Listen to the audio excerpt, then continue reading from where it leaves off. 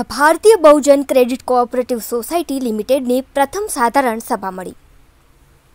ગાંધીનગરથી અમારા સંવાદદાતા મહેશ આસોડિયા જણાવે છે કે the Bharatiya Bahujan credit cooperative society limited state લેવલની ગુજરાત રાજ્ય ગાંધીનગર ખાતે પ્રથમ સાધારણ સભાને ઇફકોના વાઇસ ચેરમેન અને પૂર્વ કેબિનેટ મંત્રી માનનીય શ્રી દિલીપભાઈ સાંગાણીએ બીબીસીની સોસાયટીનું દીપ પ્રાગટ્ય કરાવીને ઓપનિંગ કર્યું હતું. તેમજ બીબીસી બેંક ગુજરાતના બહુજનોની મોટામાં મોટી બેંકનું દિલીપ સાંગાણી દ્વારા વીસ જિલ્લામાં વીસ શાખાઓનું લોન્ચ કરી હતી. આ કાર્યક્રમમાં ગુજરાતભરના તમામ જિલ્લાના ડિરેક્ટરશ્રીઓ તથા સભાસદો મોટી સંખ્યામાં હાજર રહ્યા હતા.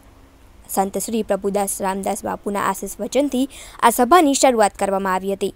બીબીસી સોસાયટીના ફાઉન્ડર દિલીપભાઈ મૌર્યએ બીબીસી સોસાયટીના બહુજન સમાજને આર્થિક તેમજ રોજગારલક્ષી કેવી રીતે ઉપયોગી બને તેની જાણકારી આપી હતી. તેમજ સોસાયટીના બંધારણ મુજબ થયેલ ચૂંટણીને ચૂંટણી અધિકારીએ એકવીસ કારોબારી સભ્યોના નામ જાહેર કર્યા હતા. આ કારોબારી સભ્યોને ડૉક્ટર બાબા સાહેબ આંબેડકર તથા સાવિત્રીબાઈ ફૂલેના નામે સોગંદ લેવડાવીને સોસાયટીને વફાદારીના સોગંદ લેવડાવ્યા હતા.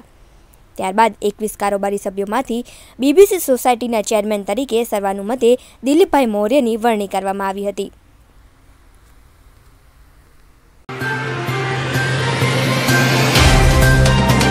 तो व्हाट्सएप ट्विटर फेसबुक इंस्टा जहाँ भी आपका अकाउंट है इसे शेयर बटन के द्वारा वहाँ पर शेयर करें